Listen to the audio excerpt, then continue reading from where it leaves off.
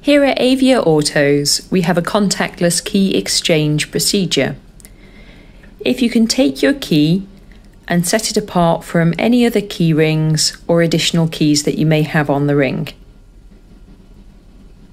When you're ready, pass the key to the tray and we'll sanitize the key for you. Returning the key is the reverse procedure.